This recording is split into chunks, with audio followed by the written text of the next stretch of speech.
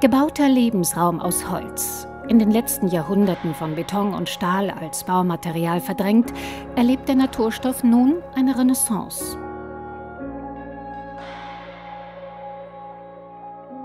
International errichten Architekten moderne Gebäude mit dem altbewährten Baustoff, zunehmend auch in Berlin.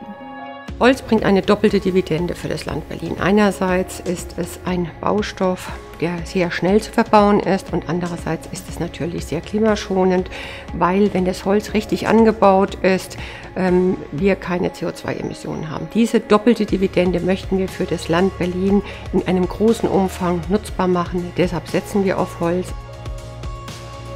Die im April 2018 in Kraft getretene Berliner Landesbauordnung erleichtert den Holzbau für private und öffentliche Gebäude. Ohne aufwendige Einzelfallprüfungen können nun auch tragende Bauteile mehrgeschossiger Gebäude aus dem Naturmaterial realisiert werden, wenn sie feuerbeständig sind. Die Aufwendungen für Holz in Sachen Brandschutz sind bei Gebäuden dieser Größenordnung meiner Meinung nach marginal, weil Holz bringt von Haus aus durch eine gewisse Überdimensionierung, die immer aus statischen Gründen erforderlich ist, schon den Basisbrandschutz mit. Das heißt, für Gebäude höherer Höhe, die mehr Brandschutz brauchen, hat Holz gute Voraussetzungen, um die Kosten für den Brandschutz auch minimiert zu kriegen. Die nachhaltige Holzbauweise spart nicht nur beim Brandschutz Kosten, sondern auch durch ihre Energieeffizienz. Gebäude aus Holz erreichen bereits mit dünnen Dämmstärken ambitionierte Energiestandards, denn der nachwachsende Baustoff ist von Natur aus wärmedämmend. Außerdem schafft Holz ein angenehmes Raumklima.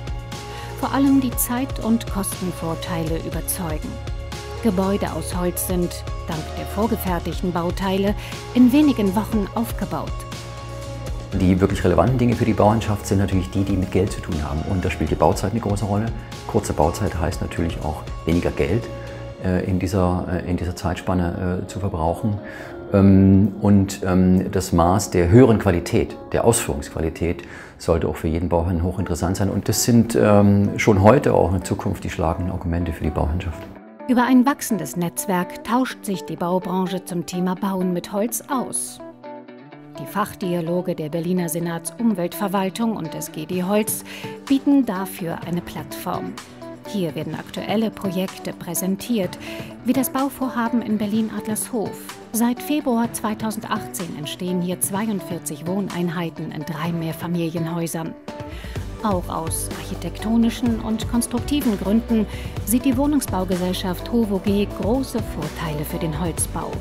Die Eigenschaft von Holz in der Fassadenanwendung ist, dass die Fassaden relativ schlank gegenüber konventioneller Bauweise mit Stein, der trägt und Dämmung, äh, die davor nach außen äh, angebracht werden muss, sprich, wir kriegen dünnere Außenwände und können dadurch den vermeintlich etwas äh, nicht so idealen Städtebau kompensieren, indem wir auf der gleichen Fußabdruck des Gebäudes mehr Mietfläche äh, abbilden können, als wenn wir konventionell gebaut hätten. Die ersten urbanen Holzbauten sind fertiggestellt und haben sich im Alltag bewährt. In der Waldorfschule in Schöneberg lernen die Schüler mittlerweile seit zwei Jahren. In Berlin-Marzahn entsteht bis Mitte 2019 ein weiterer Schulneubau aus Holz. Das Projekt wird von der Berliner Senatsumweltverwaltung wissenschaftlich begleitet, um die Vorteile und Hemmnisse des Bauens mit Holz exemplarisch zu untersuchen. Klar ist, Holzbau ist zeitgemäß, kostengünstig und umweltfreundlich. Deshalb macht sich die Berliner Politik dafür stark. Wir bauen augenblicklich 30 Kitas und drei Schulen im Holzbau. Das geht schnell, ist klimafreundlich und zeigt, dass Innovationen äh, das Land voranbringen. Äh, es ist vorteilhaft für die Menschen und für das Klima gleichzeitig. Und äh, Berlin wird sehr stark auf diesen Weg setzen.